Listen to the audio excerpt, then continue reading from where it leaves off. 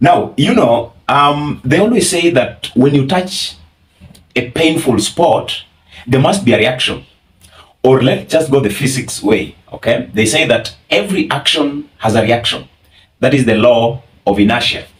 Now, you see, the day we saw Uhuru Kenyatta coming out and having that rally with Kalonzo Musyoka, it is like Uhuru Kenyatta touched, you know, a very hot metal, such that this metal is beginning to burn him.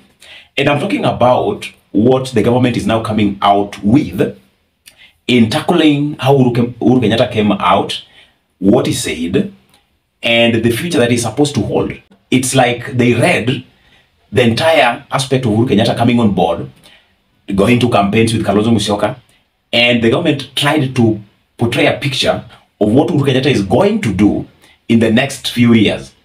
And this was kind of a very, very appropriate signal. Now, I'm saying that because today, you know, I had something that Rigathi Gachagua said, and I wanted to listen to it very keenly, and then we proceed because it is forming the basis of this analysis. will be shocked how 2 billion US dollars was taken from the central bank and put in a private bank that is responsible for the situation we are in, the weakening of the shilling. Now, if you listen to Rigathi Gachagua, you know, this is the language they have always been speaking.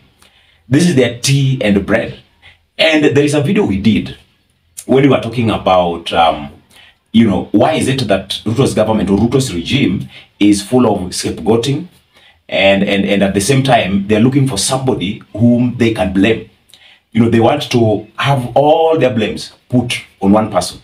That is their trait. And it is going to be very difficult for them to, you know, avoid it in the long run. Let's just uh, speak of, uh, you know, an instance where the entire first term, we will still, we are still going to, to hear this. Every morning we wake up, this is going to be the order of the day. So scapegoating is part and parcel of them. And Rigathi Gachagua leo uh, took it a notch higher. And in the political interpretation, this is very, very much direct. You know, he, he was saying that um, it is time they need to revisit how the economy was run by Uhuru Kenyatta during his time. And we know what they did. And we had said, let bygones be bygones. But there's a good discussion. We are going to have a good discussion. We are putting the figures into place who took what and where so that the people of Kenya can know why we are in this shit and this mess. To be fair to everybody, how do people expect a government to fix a 10 year mess in one year? Okay, he was saying that there are some cases that they just, you know, considered to, you know, they, they had mercy. And they were very specific. They had mercy on Uhuru Kenyatta. And he went ahead and revealed that at one time, a withdrawal was made which was very abnormal. A withdrawal of almost uh, 3 billion. And so this was supposed to be a case which was being followed and uh, being in the radar of the independent institu- institutions. And so they just left it because they did not want to uh, grab shoulders with him. And now it is appearing that, you know, they are rethinking about it. They, they want to actually resurface it. And once it is resurfaced, you know, it's going to take one dimension, which is very key, the political dimension. So when you have the political dimension underpinning it, very many things will happen. And for me, my understanding on this is that there is a warning which is being sent to Uhuru Kenyatta. So they are telling him, okay, we saw how you came um, and, and showcased to us what you are made of or what you have refurbished yourself ever since you went for, you know, the retirement. We saw what you can be capable of doing. And you know, it is kind of a warning that they were sending because you look at the same same statement, is what Kimani Ichung'wah was saying the moment we had had uh, uh, Kalonzo and Uhuru Kenyatta completing their rally successfully in Mwingi. At the same time, you look at what Moses Kuria said. You remember the day we did the analysis of Uhuru and Kalonzo? I told you that Moses Kuria reacted swiftly in trying to bring us how Uhuru Kenyatta messed the economy, and it is their time uh, they are trying to fix the Uhuru's messes. So the blame game, the blame game, scapegoating is part and parcel of them. But strategically, you look at how Rigathi Gachagua spoke. This is actually a warning, and this is a warning to make Uhuru Kenyatta go back to his silence mode. Okay, you know, go back to his hiding. And these people are very serious. These guys are very serious. You you know, if they want to politically witch hunt you, they can do it perfectly well. And William Ruto is fearing nothing. When he has Rigathi backing him, backing every move in as far as political witch hunting is concerned, you know, they can do anything. And if you're very keen, that is why you are listening to Uhuru Kenyatta saying, you know, I've been threatened very many times.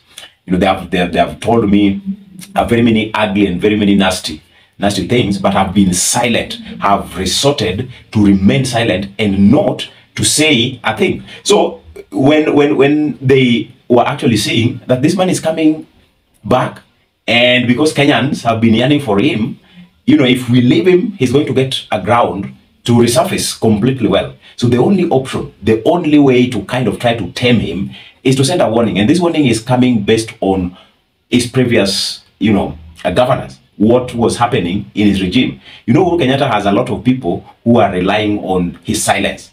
You talk of the governors who are very unscrupulous by that time, and even you look at those who are in opposition who have been just uh, spared under the political courtesy that we are having in place. Okay, you know, if they try, if if they start to go after Uhuru Kenyatta and after Raila Odinga, you know, we, it, it's not going to be peaceful.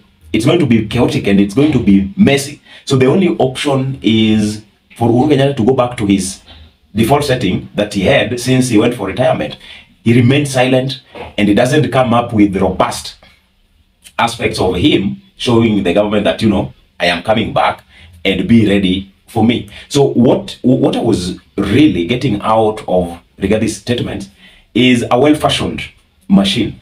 So a well-fashioned machine to tackle the resurfacing of Uhuru Kenyatta.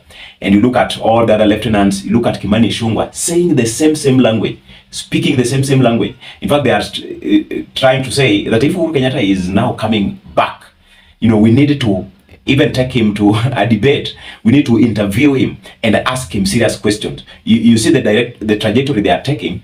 It is all about scapegoating. They want somebody that they can put their blame on. And for Uru's case, they will be trying to put the blame at the same time trying to be horn him politically because he knows exactly what he can do. But I think at the end of the day, you know, Uhuru Kenyatta will still triumph because the power of the people is what is now controlling him. You know, like he is saying, should I come? Should I not? The people will be saying, come, we really need you. Okay. So for this case, we are just a matter of time in our analysis, a matter of time in our up to speed with what is happening. And perhaps we will know if Mbivu na Mbichi ya scapegoating will overweigh the political weight that Uhuru Kenyatta can dispense when he teams up with Kalonzo Musyoka, Raila Odinga, and set a new force for 2027. What do you think, ladies and gentlemen?